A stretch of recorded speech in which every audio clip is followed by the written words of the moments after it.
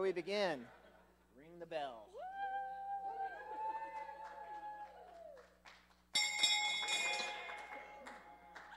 Oh! You broke the bell. I think we could, we'll fix that afterwards, yeah. yeah. Well, thanks everyone for joining us, uh, either uh, in person here at Moss Landing Marine Laboratories or over Zoom for the thesis defense of uh, Alexandra Stella. So it's my pleasure to uh, introduce her. And before we do that, I just want to thank a few people that are here. Her mom, Rebecca, her brother Dominic is here joining us today. Uh, her committee, well, Cheryl will be here shortly. And Amanda is joining on Zoom because she's still in Canada or traveling or something like that. And uh, thanks everyone else for coming. I think for people that are on Zoom, at the end, if you want to ask questions, I think type it into the chat, and then we will read it out and uh, we'll ask your question to Alex. And, and otherwise, yeah, there'll be time for everyone to ask questions uh, at the end. So, uh, a little bit of an introduction to Alex and her journey. So, right, so Alex has always been very inquisitive about the world, right? You can see there from the picture on the left, right? She's always very happy, very curious, trying to figure out what's going on. But then, on the other side there, you can see she also has that tenacious streak, and she's very determined. And I got to see both of these Alexes uh, while she was here. I mean, it was really a pleasure uh, to work with her. She was very hardworking, you know, always very agreeable. You know, suggest something, she would go and do it right away. But I also saw that tenacious side as well. She came in, she said, I'm going to finish in three years. And I was like, well, that's kind of rare at Moss Landing. She's like, I'm going to do it, and you're going to help me get there. I'm like, okay. She's like, I'm going to do these, like, 100 different experimental trials in two months. And I was like, yeah, right. Nope, she did it. I'm going to analyze all my you know, hundreds of hours of videos in two months. Yeah, right. She did it. Right? Every objective that she set, because of her determination, she really, she really achieved it all. And uh, it, was, it was really fantastic to be a part of. Right? Alex, I think like many of the grad students here, right, definitely has a big love for the natural world, frolicking, frolicking around in nature, going to the beach, exploring the ocean. Right? So she was well set up, I think, to go down this, this pathway. Right? Her mom told me it was when she did a summer vacation to Monterey when she was young. That that's when she decided. I think she went on, she went to the aquarium, went on a boat trip, something like that. She decided she wanted to be a chef and a marine biologist. And I think because she was here mainly during the COVID times, I don't think I got to experience the chef part as much as I would have liked to, seeing some of these culinary skills. Uh, but so then I plugged in like to one of those, you know, AI like image generators. What would a chef marine biologist look like? and so here, I think this could be Alex's future career, the first underwater kelp forest chef. Right, she started her scientific career presenting projects at the LA County Science Fair. So that one on the left there, reaching the boiling point, I think was a prize winner, studying, talking about the effects of ocean warming on corals, which is very timely today. We're reading in Florida, the water temperature is at 90 to 100 degrees. All the corals are bleaching, so you were ahead of your time there. and then the other one there, all washed up, looking at the effects of water pollution in the water table there. So she got a good start there with her science communication and presentation. And then she went to USC for her undergraduate degree. There she got a BS in environmental studies, and she also got minors in marine biology and political science. And you'll see those themes come up again. She was also in the USC marching band, and I'm sure if Mike Graham was here, he would be singing that Trojan fight song right now. Right. Alex got experience in three different laboratories when she was at USC. Uh, she spent a lot of time out at Catalina Island. She learned how to scuba dive, which I think really kind of set her uh, down this path. She worked in labs studying corals, studying eelgrass, studying different species of fish. And so she had a, really a tremendous amount of experience before she came here uh, to Moss Landing. She's also, if you know Alex, she's very passionate about environmental issues and advocacy. That picture on the left, that the sign, keep the earth clean, it's not Uranus. Perfect. No notes. That it was amazing. And there was even there was a publication she's been working on from her undergraduate time, where you can see in a, a talk that she, a seminar she gave there about inclusion and diversity in local environmental organizations, a case study approach. So, so Alex has always been really interested in the policy uh, side as well of, of marine science. Right, so Alex came to Moss Landing Marine Labs at the start of the pandemic. Again, she was really determined, as I said, right, to get her master's degree, to really crank it out, and to get involved in lots of different things, and she did all of that. Again, she's graduating in three years, which is quite an achievement. Right, she was the Moss Landing student body president for one of those years. Uh, she served for probably over a year or more as one of our animal care technicians every day, checking on the health of the fish and water quality and all that stuff. She was also really involved in outreach and leadership. So she was uh, for the Seafood Watch program at the Monterey Bay Aquarium one summer. She was a fisheries and aquaculture outreach intern. She was on the leadership committee for the Society of Women in Marine Science. She volunteered a lot in, in other things like the Sea Lion Bowl. So really got involved. She was also super successful in raising money to support her and her research. So she was awarded over $15,000 for different scholarships and awards. So she got a graduate fellowship from uh, San Jose State the, um, from the Biological Sciences Department. She was a research scholarship and creative activity fellow, so that was a year-long program that the two of us participated in. Uh, she got the Simpkins grant here at Moss Landing. She got a uh, Myers Oceanographic Trust grant, CSU Coast Graduate Student Award, and the WAVE Award three times. So it was, it was like always just getting requests from her for letters of recommendation, which was great because she was really just pushing right, to get funding.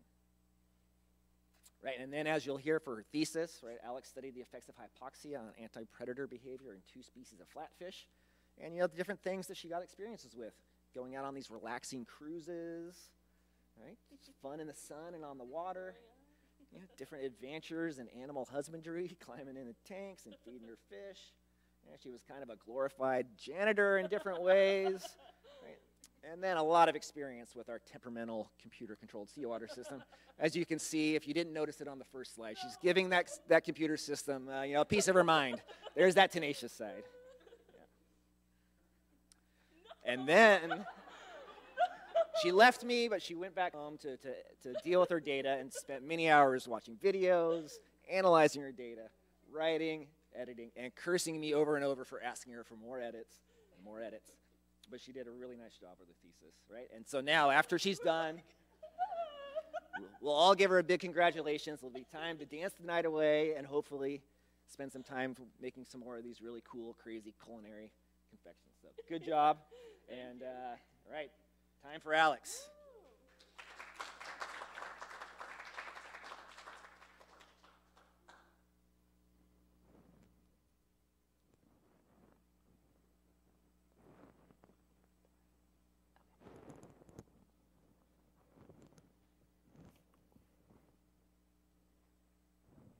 really want to make sure that it'll, okay, perfect.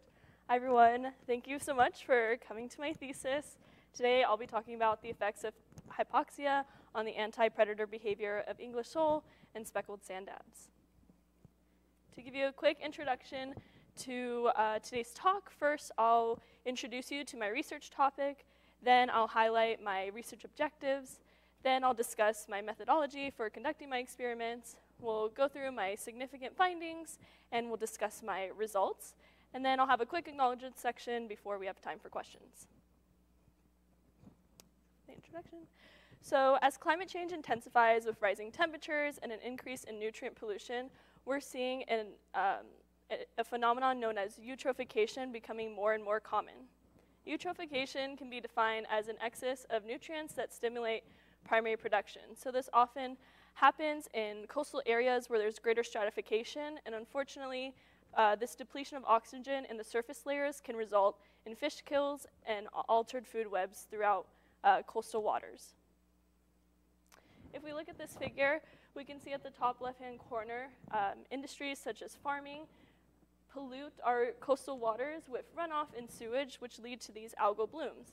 These algal blooms basically are mats on the surface of the water that start to deplete the oxygen. So as you go further in the water column, there's less oxygen, so fish and animals, other animals that are living on the bottom struggle to survive because there's less oxygen. This phenomenon is called hypoxia and is the focus of my research. Hypoxia can be defined as an insufficient amount of available oxygen, making it difficult for an animal to maintain homeostasis. And as as hypoxia continues to intensify, it can result in a loss of critical habitat, it can lead to a decline in biodiversity, and it can increase the amount of time that a habitat has low oxygen conditions, which ultimately makes it difficult for animals to survive. Unfortunately, this phenomenon is happening right here in the backyard of Moss Landing in the Elkhorn Slough. The Elkhorn Slough is a coastal estuary here in the Monterey Bay. It serves as a biodiversity hotspot and important nursery habitat And when we say something's an important nursery habitat, we um, mean that it provides a lot of services such as food, refuge from predators, or migratory corridors where species can move from one body of water to the next. So overall, for the animals that live in the Elkhorn Slough, it, uh, the slough provides favorable growing conditions, optimal prey abundance, and low predation risk. But as I just mentioned, eutrophication is becoming more and more common. As you can see from this figure, this figure was made in 2011, but I can guarantee you today, eutrophication is even more common and more intense here in the Elkhorn Slough. So there's high levels of um, eutrophication. And part of that could be um, due to the nature of the estuary in that there is a mixture of freshwater and saltwater that allows for seasonal and spatial variation in temperature, salinity, and dissolved oxygen. But we're especially noticing that in the lower slough, there's an, uh, a mixture of water with fertilizers and sewage from surrounding farms. And this is causing lower salinity and an increase in phosphate, nitrate, and ammonia, which ultimately is reducing the amount of suitable habitat, suitable habitat in the Elkhorn Slough. Uh, a lot of uh, species are struggling to survive with this intense uh, reoccurrence of hypoxia, especially these two species, the English sole and the speckled sand dab. English sole are right-eyed flatfish, and speckled sand dabs are left-eyed flatfish. They both are located in the Pacific Northwest, and they're commonly found um, on the seafloor. They're known as benthic species, um, although the speckled sand dab has a depth limit of about 70 meters. They both prey on benthic invertebrates, while, but the English sole matures at three years old, while the speckled sand dab matures at two years old. And the English sole lifespan is 20 years, and the speckled sand dab is about three to four. Just a little information uh, about those two species. So a previous study, Brown et al., uh, found that estuary habitats make up only 6%, 6% of all available habitat. However, in that same study, they found that about 50% of the adult English sole population in Central California resided in the slough as individuals. So this really proves that the Elkhorn Slough is heavily re relied on by these species as a nursery habitat. They're disproportionately, they, this, the slough is disproportionately contributing to adult populations. A more recent study, Hughes et al. found that English sole will be completely absent from the slough once, it, once the slough reaches hypoxic levels, which is about 4.0 milligrams per liter of O2. Uh, this research study also predicted that about 93% of the population reduction uh, will happen during those hypoxic years. And we'll see these population reductions mainly due to um, a biological limit known as P-crit. P-crit is known as the oxygen concentration in which an organism can no longer maintain a stable rate of oxygen uptake for aerobic performance. So at this level, as you see in the figure, animals need to make the choice to either um, reduce their daily activities or change and rely on their anaerobic um, activities, which, which is limited by things, by just oxygen. so oxygen demand uh, limits the necessary supply for them to meet the metabolic requirements for everyday activities such as growth, reproduction, and, um, and movement. And this is important because for all species, survival is the ultimate goal. However, a combinations of stressors will make it difficult to survive. So in the case of my research, I'm looking at two different kinds of stressors. One, chemical stressors, which is that hypoxia, and two, physical stressors, which is predation. So looking at this figure, when, when a fish is met with multiple stressors, it must make the decision to respond in a way that appropriately ensures their survival. And, and so the survival is only guaranteed when that fish makes the right decision. So in a, in a situation when they're limited in oxygen, they must trade off between aerobic capacity, their hypoxic environment, the energy demands of the fish, and the benefit of making those changes. Um, and the, the, the decisions they make are critical to their survival as it'll guarantee that the fish will have an opportunity to reproduce. Key to their survival is their use of the sensory system. Fish highly rely on their sensory system um, to detect threats in the water. So again, fish that can obtain the most information and then use that information to respond appropriately will be the most likely to survive. So to avoid an evasive predator, they depend on their lateral line to detect motion, and they de depend on their vision to uh, see a threat. They also depend on their olfactory system to detect a chemical threat in the water, and they can often use their hearing and, and their otoliths to detect movement as well. So knowing this, I wanted to understand how the combined stress of predation and hypoxia is going to impact the survival of these juvenile fish. So I set out with a few research objectives. My first objective was to discern how exposure to recurring and intense hypoxia will impact the responsiveness of these flatfish by analyzing their activity levels. Then I wanted to determine if flatfish behavior towards the predators was altered because of exposure to hypoxia. And lastly, I wanted to compare the behavioral responses of English sole and speckled sand dabs to hypoxic stress. In order to um, look into these objectives, I created a few hypotheses. The first being that juvenile fatfish, uh, when under a startle cue, will respond um, with increased response latency, shorter distance traveled, reduced escape velocity, and a decline in activity levels. Under hypoxia, their, their visual and olfactory senses will also be inhibited, resulting in reduced activity levels and a failure to perform defense behaviors. And with increasing hypoxic stress, these flatfish will become vulnerable to predation, and that could be seen through a delayed response to the predator, inhibited defense strategies, or a failure to hide from the predator. And lastly, both species will be limited in their ability to su successfully escape a predator. And I also predict that speckled sand dabs will be more tolerant to hypoxia, um, exhibiting less changes in their behavioral responses. So in order to test these hypotheses, I conducted my three experiments. I used speckled sand dabs and English sole as my prey species and the cabezon as my predator species. To collect the flatfish, I used two methods, the otter trawl, which um, basically you deploy a net into the water and have it towed at, uh, for about 10 minutes, um, hopefully capturing fish on the bottom. And I also used um, seine net fishing, where I deployed a net in the water, hung it vertically, and slowly dragged it to shore, encircling the fish. To collect the predators, I used trap fishing, which um, you put a trap in the water that contains squid bait for about 30 to 45 minutes. And then we also used hook and line fishing, which was just uh, fishing with a single line rod with squid as bait. In order to understand how exposure to hypoxia alters juvenile flatfish behavior, I put the uh, fish under five different oxygen treatments that range from normoxia to severe hypoxia. So that range from 8.0 all the way to 1.0 milligrams per liter dissolved oxygen or DO.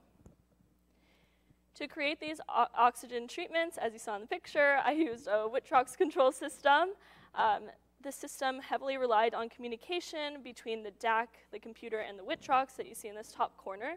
So using the software, I would set my desired oxygen level, and the computer would communicate to the Witrox using this, um, and, and the Witrox would use the oxygen probe to measure the oxygen in the water. If the water was not low enough or was off, I would use the nitrogen bubbler to reduce the amount of oxygen in the water. Then, once we had the ideal uh, treatment conditions, we then um, had the water flow into the experimental tanks where the flatfish were present. My, for each, for each uh, species and for each treatment group, uh, the experiments were conducted over a seven-day period. First, the flatfish underwent a 48-hour DO exposure. After this 48 hours, the startle trials were completed. Then, after the startle trials, they were uh, treated for another 36 hours. And then they completed the predator presence trials. And then finally, after 24 hours, they completed the predation trials. And so in summary, I had five DO treatments, two species, uh, 20 fish per DO species, um, so about 100 fish per species for a total of 600 trials. The first experiment I conducted was the startle response experiment, and my hope with this experiment was to simulate an inter interaction between a swift predator and a flatfish. So in order to do this experiment, I first recorded pre-startle activity, then I released a weight into the water um, that would stimulate a quick-acting predator, and then I recorded post-startle behavior. So if we're looking at the figure, the experimental area is this clear plexiglass um, within the larger tank. I use this weight drop system, which is this L-shaped PVC pipe, which then had a conical weight um, that was so, uh, flown through it and released. And then we used a mirror to capture the fish's movement um, so that we wouldn't interfere with the experiment. To understand how um, hypoxia limits the ability of these flatfish to respond, I measured five different variables, the first being response latency, so how long did it take for the fish to respond to the weight dropping um, before it moved? Then I measured total distance moved. So all, for both the pre and post startle, I recorded the, the experiments for two minutes. So within those two minutes, how much did the fish move? Next, their average velocity. So within those two minutes, uh, what was the average velocity? And again, the maximum velocity, what was the fastest they moved within those two minutes? And lastly, the moving duration. So within those two minutes, what percent of time was actually spent moving? So here's an example of what the video may have looked like for pre-startle behavior.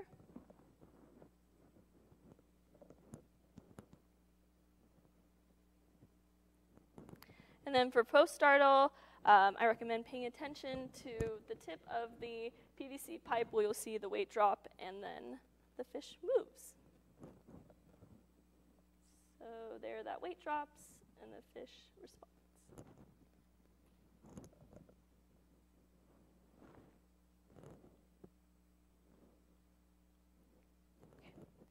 Next, I completed predator, predator presence trials. For these trials, my hope was to understand how the flatfish um, sensory system is inhibited by hypoxia, especially with their dependency on their senses. I wanted to see if hypoxia inhibits their ability to detect a predator. To, in order to, to test their olfactory and visual senses, I wanted to ensure um, that the cabezon's predator scent was in the water. So I did this a few ways. One, I collected water from the cabezon holding tanks. Then I placed an air pump in the experimental tank to ensure the, the predator scented water was spread throughout the tank. Then I left the predator in the tank for about 30 minutes before the first experiment. And lastly, I ensured there's no fresh salt water flowing into the tank um, throughout any of the experiments. The predator presence trials occurred in two parts, the first being the olfactory trial. So this is, this is what that experimental setup looked like. Uh, there is a divider between the predator and the prey to eliminate flatfish's ability to detect the predator. So it could see, but not smell. I mean, it could smell, but not see. Sorry about that. Uh, for the visual trial, this is what um, the experimental setup looked like. So the flatfish was free to swim in the presence of the predator, and hopefully you can see there's a barrier in which the cabezon was placed um, to prevent them from actually interacting, although the cabezon definitely did try a few times. okay, and then in order to measure movement within these trials, I, I used a um, scoring system. Um, so every 15 seconds, the flatfish would receive a score.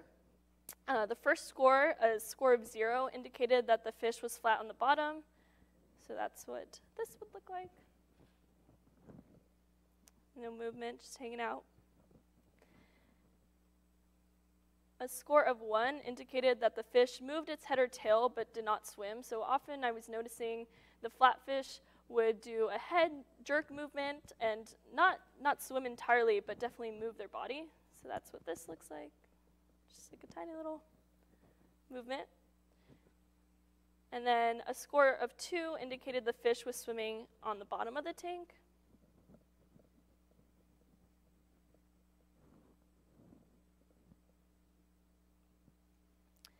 And a score of three indicated that the fish was swimming in the water column. So off the bottom. And then in addition to that, for the visual trials, I also measured fish orientation because I wanted to test whether DO levels affected the position of the flatfish's head relative to the predator. So uh, every 15 seconds, I screenshotted the video and measured the angle of the flatfish. So if they were facing, not facing a predator, it would look like this or a variation of that. And if they were facing a predator, it would look like that. Lastly, I conducted predation trials. So I wanted to understand the combined impacts of hypoxic stress and predation on a flatfish's ability to survive. For this trial, I used one normoxic fish and one hypoxic fish because I wanted to see a direct comparison of how these two, uh, two oxygen conditions impacted their behaviors and their ability to respond. And these experiments were complete once one fish was either eaten or the time limit of 10 minutes was reached. Again, I used that same scoring system that I used for the predator presence trials. And here's a little snippet of a predation trial.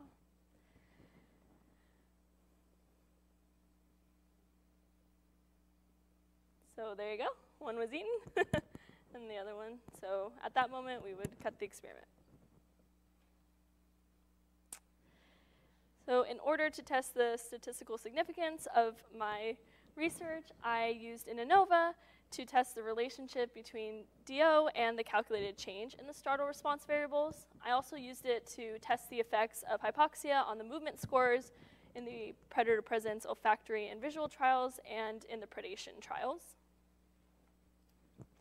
I used a two-factor MANOVA to evaluate whether DO influenced the orientation of the prey to the predator in the predator presence trials and a chi-square contingency contingency table to determine if the number of fish consumed was influenced by DO treatment.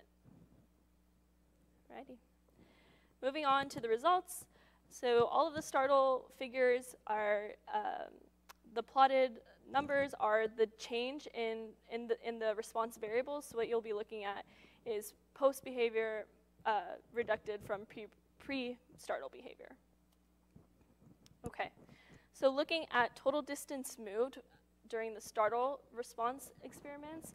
For English Sole, we see that the normoxic response, or the 8.0 response, was to increase total distance, um, but there really wasn't a dramatic difference. There definitely is a slight increase, but nothing crazy.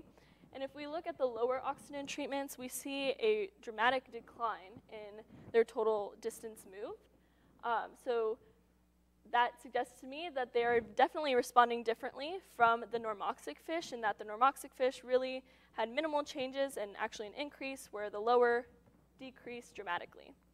Looking at the speckled sand dabs, we see that um, the normoxic um, increased their total distance move, but so did the lower oxygen treatments, except, from, except for the 3.0 group. Um, so this suggests to me, for the most part, the lower oxygen were following similar similar patterns and in their behavior eh, in terms of how much distance was moved pre and post startle. Looking at the percent time spent active, for English Sole, um, again, the 8.0 group spent a similar amount of time being active, but with a slight decline um, in, in movement. But overall, when you compare that to the low oxygen treatments, the percent of time is definitely noti noticeably lower. Um, so we're seeing a more dramatic change in the response. When you look at the speckled sand dabs, um, all treatment groups did spend less time moving post-startle, and then we see that greatest difference in the frequency of movement in the three and two groups. So again, the normoxic response for the sand dabs was to reduce um, the percent time active, and the other fish did that as well. Looking at mean velocity, for English Sole, we see that the 8.0 and the normoxic response is to um, show a slight increase in mean velocity, um, while the low oxygen treatment group showed a dramatic decline in their mean velocity. So again, rejecting the expected behavior for normoxic conditions and showing an altered response. For the speckled sand dabs, all DO levels um, showed a decline in mean velocity as well, and again, we see a trend with the 3.0 and the 2.0 groups um, declining the most. Looking at maximum velocity for English sole, in the normoxic group, there's a slight increase in max velocity post-startle, Um, and there was an increase in max velocity for the low, but almost no difference for the 3.0 and the 2.0. Um, but again, a large difference for the 1.0. So looking at max velocity, that suggests to me um, for the low oxygen, it really didn't have much effect on 2 and 3, but for 1, it, was, it, it did change significantly. When we look at the speckled sand dabs, the normoxic group had a large increase in their max velocity post-startle, so once that weight dropped, they moved very quickly, um, while the 1.0 had a, a, decline in their max velocity, um, as well as the 3.0. So for these two groups, they made the decision to not move as quickly as they did before. For latency to respond, um, for the English sole, the shortest latency was in those more normoxic groups for 4.0 and 8.0. Um, and the longest latency to respond were in the lower oxygen treatment, and the 1.0 group had the longest. So that, that falls in line and agrees with our hypothesis, hypothesis that latency will increase with lower oxygen. Looking at the speckled sand dabs, the higher, highest DO, 8.0, had the shortest latency, so they were the quickest to respond, and 3.0 had the longest latency, but overall, the low DO had had the longest latencies compared to the higher dissolved oxygen treatments. Moving on to predator presence. So these figures are showing uh, a frequency of equal to one, so one being the entire time of the experiment. So what percent of that time was spent using each score. So as you can see in the, the legend, um, those are the movement scores. So for English sole, there's really no significant difference in the frequency of the movement scores. Um, and the low DO followed similar movement patterns when compared to fish in normoxic conditions during the olfactory trials. So when they were just smelling the predator, there really was no major difference in how they behaved. When we're looking at the dabs, again, the difference in their frequency of their movement scores was not significant, um, but as you can see here, the lower dissolved oxygen treatment does spend more time per performing that uh, risky behavior of swimming in the water column. Looking at the visual trials, uh, the English sole, um, again, most of the time was spent not moving. However, we do see that the low oxygen groups do spend more time swimming on the bottom and moving their heads and their tails, especially that 2.0 group.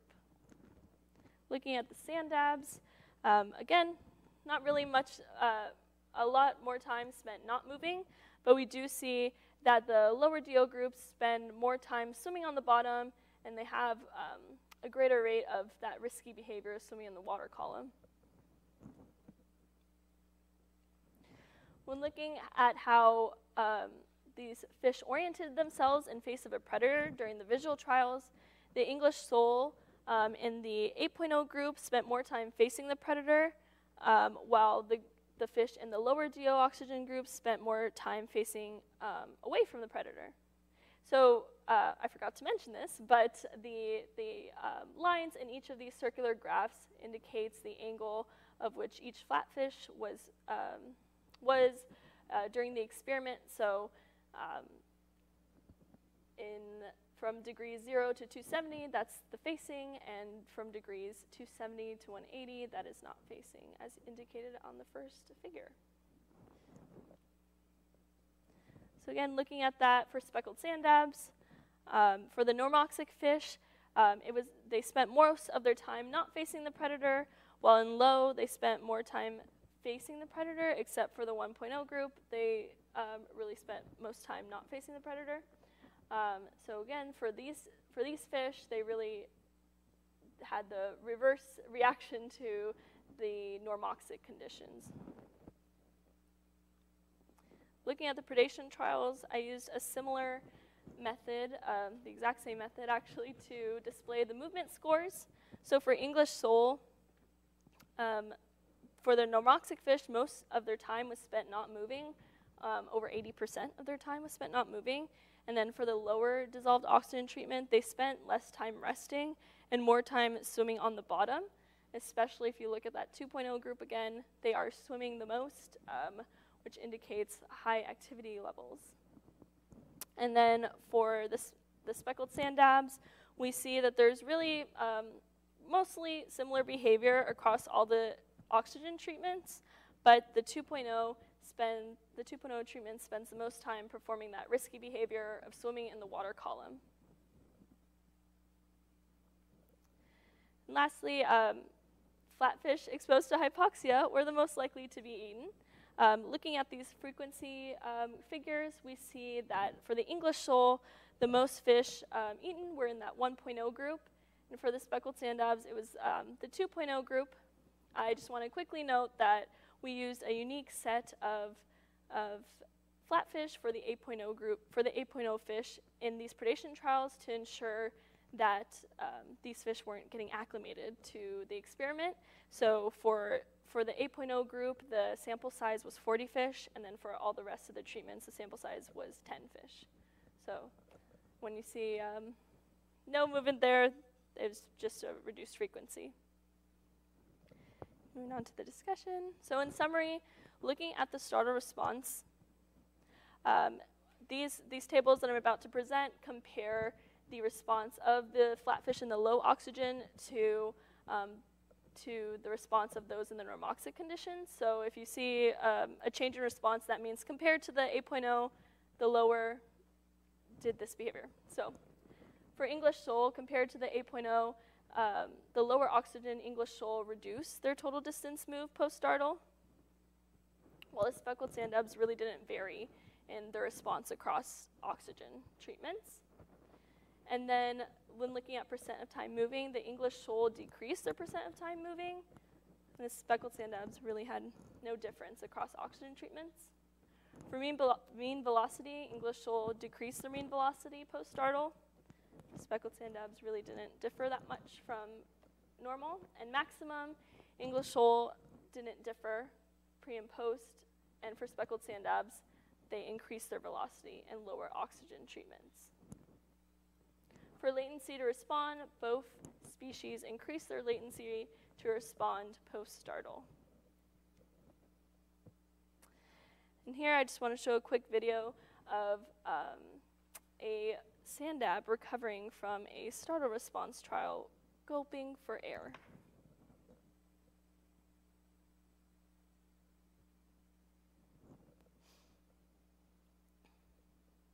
Okay. Looking at the effects of low oxygen on the predator presence olfactory trials, we see for the English sole, there really was no difference in the amount of time they spent um, in any of the scores comparing them across oxygen treatments.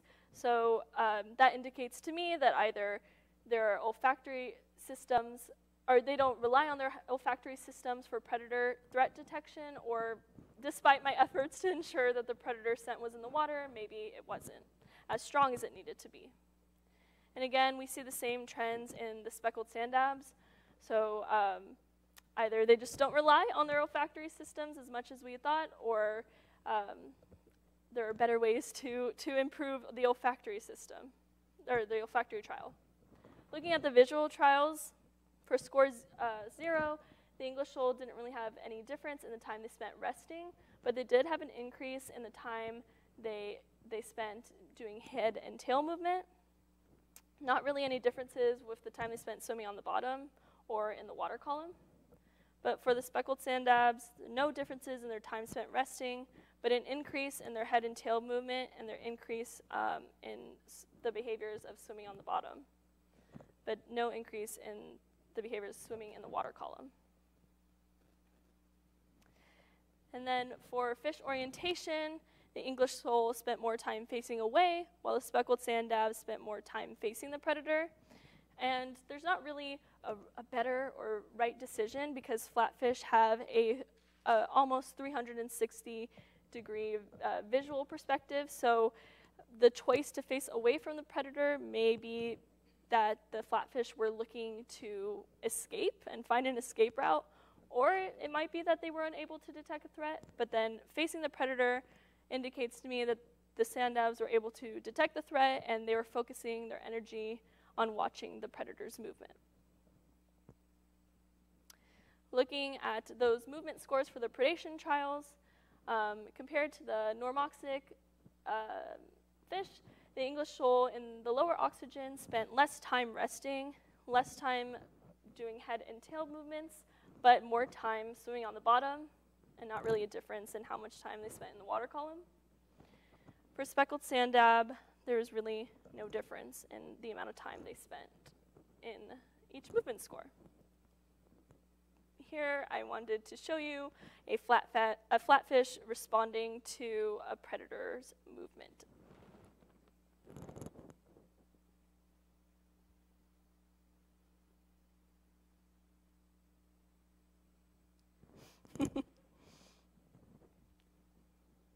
okay, and then looking at the effects of low oxygen on fish's ability to survive a predation attempt.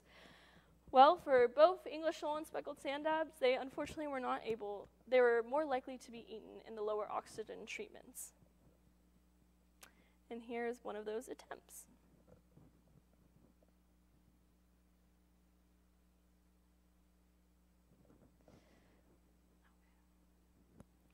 So in going back to my hypotheses, I just wanted to review whether or not my hypotheses were met um, based on the results of my experiments.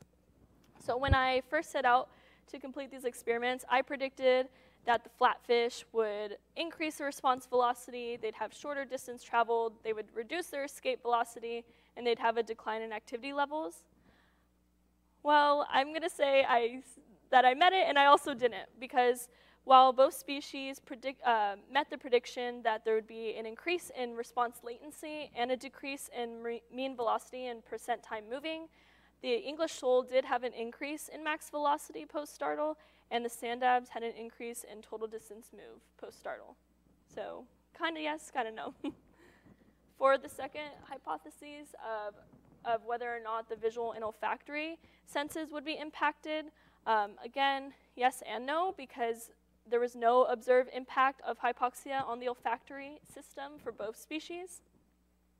Um, and um, the individuals in both species showed differing responses to normoxia. Um, while they did show differing responses to normoxia in the visual trials, they were um, opposite of what I predicted. So instead of decreasing their movement, the English sole increased their head and tail movement, and the speckled sand dabs increased both their head and tail movement and swimming on the bottom. So I predicted they would reduce their movement, um, and they actually increased a few of their movements in response. Looking at the third hypothesis, I predicted that um, they would be vulnerable to a predator in a predation trial, which would result in a delayed response, um, inhibited defense strategies, or a failure to hide from the predator, and we saw those things. Both, both species perform behaviors that increase detect detectability. English sole and low oxygen spent more time moving, um, opposed to the normoxic fish that really spent most of their time not moving at all.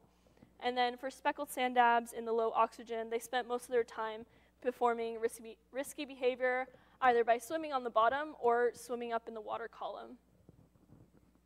Looking at the last hypothesis, um, they will be limited in their ability to escape a predator, and that speckled sand dabs will be more tolerant. Well, they were limited in their ability to escape a predator because for both species, fish in the low oxygen were eaten most often.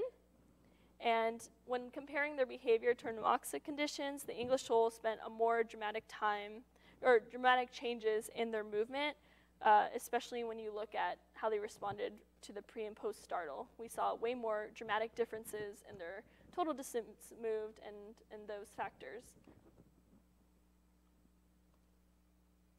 So main findings of my studies are that both species were negatively impacted by hypoxic stress.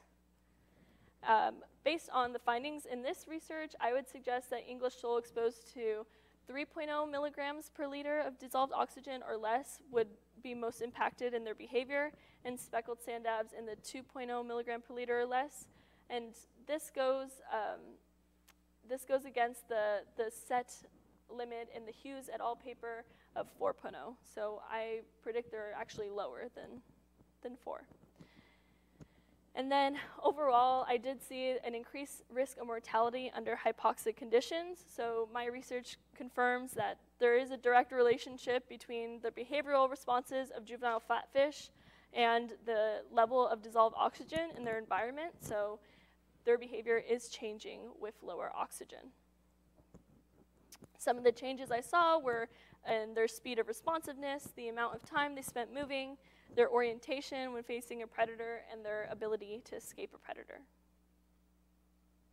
And this research is significant because under intensifying hypoxia, we're going to see more common species migrations and widespread mortalities, which is going to ultimately decline the health of the Elkhorn Slough ecosystem. In addition to that, flatfish play an important role in um, the Elkhorn Slough. They serve as a prey source for leopard sharks and rays. They play a role in breaking down organic matter because they consume plant and animal detritus off the benthos or the bottom of the seafloor. And they're a common menu item in this area, so fishermen rely on flatfish as a source of income. And lastly, they're an indicator species within the Elkhorn Slough. Um, as I stated before, they are a benthic species, so they're already used to some um, exposure to low oxygen. So if an organism that is adapted to withstanding short-term hypoxia is unable to endure increased long-term hypoxia, it will be difficult for other species to deal with these same pressures, and ultimately they will struggle to survive. So the hope of this research is to make some predictions about how other um, organisms within the environment are going to respond to hypoxia and in hopes to create science-based management and policy to protect this ecosystem and the species that live in it. Lastly, I just wanted to acknowledge a few people who helped me along the way. First, to my superhero committee that made it all possible. Dr. Scott Hamilton, my advisor, and my committee members, Dr. Amanda Kahn and Cheryl Logan. Um, all three of them were necessary and needed members of me reaching this milestone. Um, Scott was always willing to help me in so many ways, whether that be uh, writing me every recommendation I could send him for opportunities or scholarships, or driving hours to San Jose just so I can receive one of the scholarships, or um, you know, hopping on a last minute boat ride so that I could collect fish. Um, Amanda really helped me and guided me with my writing and helped me to be a more concise scient scientific writer. And, and Cheryl was so thorough in her edits and her attention to detail when helping me to, to produce the best thesis possible. So I just want to say thank you to all three of you for all your efforts to help me graduate. and last, uh, not lastly, sorry, to all the people within the Moss Landing community that helped me along the way. It really did take a village. Um, Grace, Laura, Noah, Jack, Juliana, Matt, Luke, and Taylor, all of you helped me in so many different ways, often dropping what you were doing to, to help me figure out a problem or a solution. Um, and so I'm so grateful for the time you offered me. And to the Moss Landing staff, Tara, JD, James, Kevin, Jane, and Theo, all of you were essential to um, helping me get my research off the ground, collecting fish, getting um, the financial support and, and the support in the lab. And to Mike for helping me with IT today during my thesis defense. And lastly, to some uh, Cal State Monterey Bay students, Avery special, especially. Um, Avery was my undergraduate research assistant, and I definitely wouldn't have survived last summer without her and her ability to calm me down in stressful situations. and to Nick and Deo and Connor and Samarth who helped me with fat, flatfish collections and just fish maintenance overall. And uh, another thank you to the organizations that supported my research and me as a student. Um, without these, um, without these funding support, without this funding support, I wouldn't have been able to finish my research. So to the San Jose um, Research and Innovation Committee for the fellowship, for CSU Coast for the research award, the Myers Trust, and Moss Landing for various awards, and to the uh, Department of Biology at San Jose for the Pisano Scholarship. And lastly but not least, thank you to my mom. Um, she always believed in me and let me explore the oceans near and far, whether that be um, 30 minutes away in Malibu or all the way in Australia. She really helped me chase my dream. Um, when I was in high school, my mom would drive me 60 miles one way to the Aquarium of the Pacific so that I can volunteer. Um, so I'm just so grateful for all the efforts. And I think it's pretty serendipitous that 10 years before um, my first day of school, I was uh, on a research trip with my mom in the Monterey Bay. And then 10 years later, I was at Moss Landing starting my graduate degree. So, big thank you to my mama. all right. Thank you, everyone, for listening. Any questions?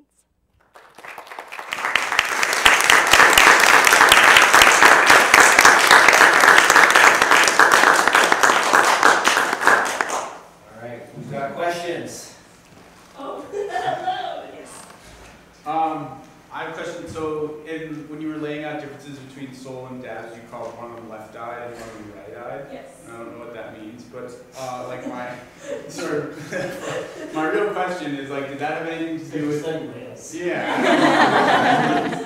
but when you were showing like the orientation to the predator, Mhm. they were always oriented on the right side of the cabezon, either like facing or behind.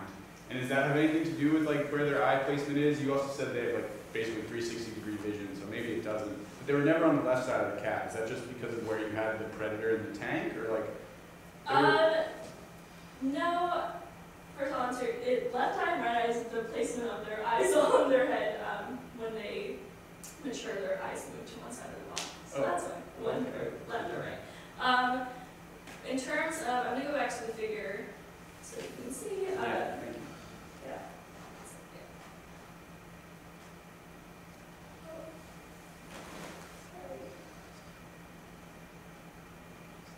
Okay.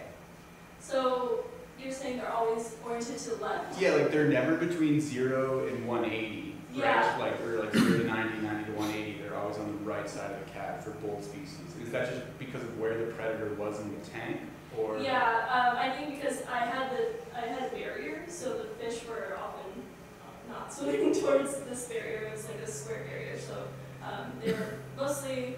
If you look at the um, like the layout of the tank, so you see how like this barrier is on the wall here Yeah.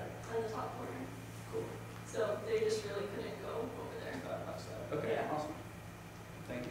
Isaac, did you have a question? Yeah, this is an impressive body of work. It's clearly a lot of work, really cool. Um, but I, I was curious how it compares to how the anti-predator response in the tank compares to that in the wild. Like, are they burying themselves in the wild? Um, yeah. Okay, so was there like, um, like, how how'd you decide not to add any substrate to the tank? Yeah, uh, when I was doing my trial experiment, so a normal flatfish behavior would be to bury themselves in the sediment, especially on the bottom. Um, that would be the best way to hide. And especially their coloring, um, it looks like the sediment. Um, so unfortunately, when I was doing the trial runs for these experiments, I just um, I noticed, especially in the predation trials, the the cabezon just weren't able to detect the fish. Oh, okay. So, so I had to remove um, the sediment because um, it was just so dark, and because I had um, I had a tarp around the, the experimental tank, it was already dark enough, and um, it was just really hard for the cabezon to detect, and it was already difficult enough to get these fish to eat. Um, so I, I just wanted to ensure that a predation attempt would happen. But that is a good point. In the wild, they do have that defense mechanism and might increase their ability to survive, especially because they're able to, to hide. Cool, thank you. Um, I was interested if there was any like life history traits or differences between the two species that would lead to all of their sort of different like reactions to your response variables. Yeah, I, I predict that it's their, their size. I didn't include this in my presentation today, but in my thesis, um, you're able to see, I, I measured the weight of all the fish, and comparing the English sole and speckled sand the sand are actually two times as big as all of the English sole that I used in my trial um, within all of the treatments. So they're always about twice the size of the fish, so I'm predicting that that made them, especially when we look at the predation um, results, it looks like the sand get eaten more often. But actually, I don't think that's, I don't think that would be the case in the wild. It's just because they're bigger in size, twice the size, and also, um, uh, they, they perform, I mean, they did perform more risky behavior, especially in the 2.0 group. They were swimming at the top of the water column. So things like that really make um, a fish obvious because they're flapping and splashing at the top of the, of the water column. But yeah, I, I definitely attribute it to their size. Thank you. Yes. For the uh, the mortality data, um, it would have been really hard to standardize for this, but did you notice any differences with the oxygen concentration on the cabezon? Like, were they less or I more? didn't, uh, I didn't place the cabezon in uh, lower oxygen. I just uh, used a normoxic fish. Okay. Yeah, okay. yeah. And I made that decision just because I wasn't um, studying the behavior of the cabezon and in terms of how hypoxia impacts them. So uh, in order to ensure that the predator was alert and um, you know, would hopefully hunt the fish, I, I chose not to put them under low oxygen conditions. And She was always comparing the tank of normal fish with a hypoxic fish. Yeah. So the predator, should be normal fish or with the hypoxic? I don't know. Gotcha. So, Yeah. but that's a good question, though, I mean, but how do you think the results might change? Yeah. also just kidding. I definitely think we have a lot less predation events. Um, yeah, because even within the normoxic conditions and, and um, just the experimental conditions, it, it was, it was, um, it took a while for the cabezon to adjust and, and to be, to be actively feeding. To, I, I actually would starve them for three days before, and even then, uh, it was hard to, you can't control fish, I learned. no matter how much you pray. So wait, sorry. Quick follow-up question. So uh, these, so for these results, these fish getting eaten at one milligram per liter of oxygen. yes. Did you take them and put them in normoxic water with the with the cabezon? Okay. Yes. Okay. Yeah, so that's also uh, part of the reason why um, I limited the experiment because um, at this current moment in time, we don't know how long hypoxia impacts a flatfish and, and, and is within their system. So I was worried oh, if I continue this for 30 minutes, they might recover, and that would be pointless to my experiment. Gotcha. Yeah, good question, yeah, there's probably some residual effects still, right? 'Cause they all, they all go into high oxygen treatments, but they have been, you know, for a couple days in low oxygen, so they're still, everybody's still a little slow, I guess. Gotcha. Thank you. Yeah, so I think following what you did, Yeah. you did the like startle response first, and then you took those fish and did the, the predator response. Yes. Right. Do you do you know was there any like relationship between the fish that like responded the way you might think in that startle response to like getting eaten more quickly or less quickly than the others? Was it like a because it seemed like that you're like some of your other metrics were a bit mixed in result, but when it came to the predator, it was pretty clear they just got eaten. Yeah, unfortunately, that was a thought I had after completing my experience, um, and that's something I would definitely do differently, is individually tag the fish, instead I tag them by treatment, um, so that I could tell that, um, but I was, I didn't individually tag them, which would have been really helpful to compare, oh, are the fish that are taking the longest to respond to startle, are they the ones getting eaten? So that's definitely something I would redo. Question in the oh, chat from Okay. Emily.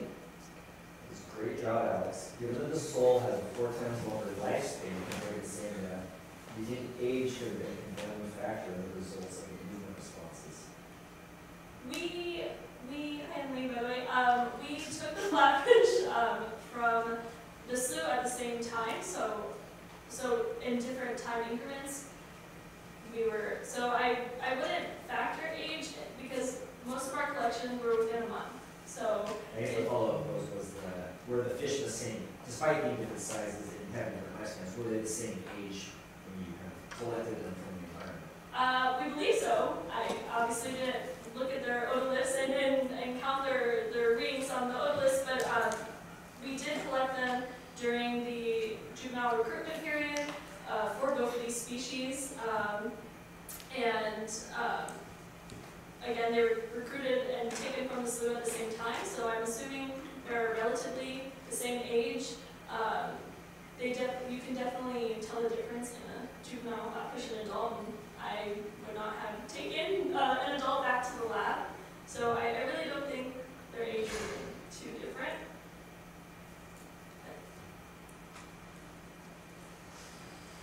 Yes. Um, so I'm assuming that there are a bunch of different predators on these fish.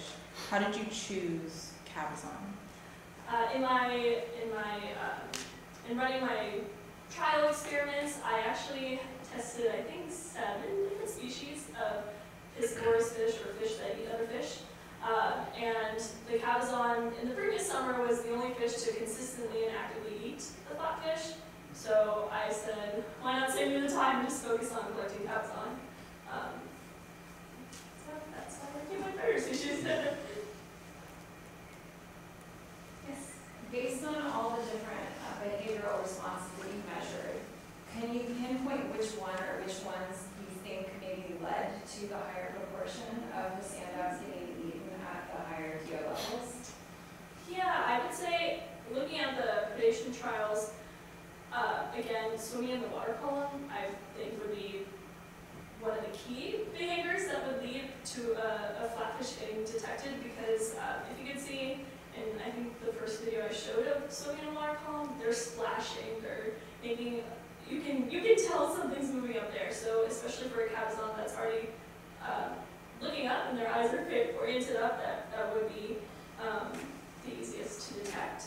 Um, definitely just any movement in general, because something still is, is, is not going to be as attractive as something moving, trying to escape.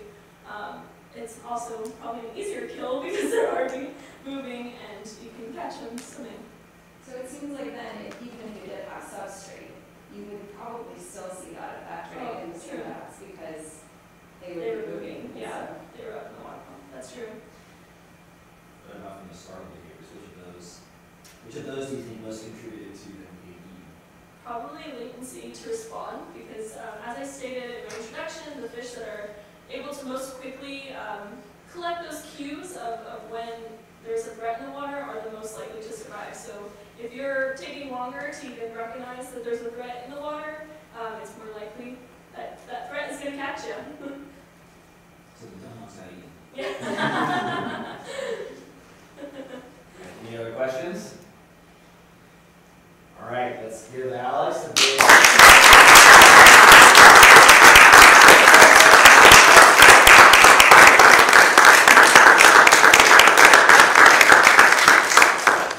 All right, so her committee's gonna take her into the room, grill her a little bit more. And then there's some treats over there, there's some amazing cookies.